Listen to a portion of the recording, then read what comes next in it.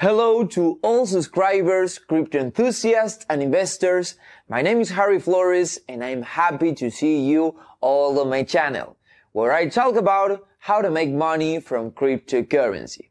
Be sure to watch this video to the end as in the next 5 minutes I will tell you how each of you can participate in the new airdrop and be guaranteed $500 each. Airdrop has just started, so there is still an opportunity to take part and make money.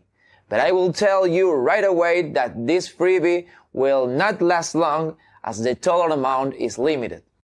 And now let's move on to the airdrop itself. It is conducted by the developers of Stake Finance project. Airdrop is a part of marketing strategy to promote stake token among population in order to increase the number of holders and interest in the project. Airdrop is held in the famous TrustPad platform.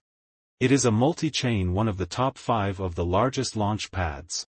So, let's take part in airdrop while there's an opportunity in guaranteed ways to earn pSTAKE tokens. Organizers of the drawing have considered that there will be a lot of people. So, they limited the maximum amount of tokens you can get. The limit is $500 in pSTAKE tokens. Also we see that airdrop amount is limited. 40 millions tokens is allocated and already 92% distributed. Which means we need to hurry. The rules of participation in airdrop are very simple. We need to have a wallet on MetaMask or Trust Wallet to get the precious $500. I have a MetaMask add-on for example. Click Claim Airdrop and connect your wallet to the platform. After connecting your wallet to the platform RM immediately you will see a pop-up about a small fee for the transaction that you need to pay. After that the only thing left is to wait for the pSTAKE tokens to come to our wallet. So, friends, I did it. It took about 5 minutes and pSTAKE tokens appeared on my wallet. I got tokens which is roughly equivalent to $500.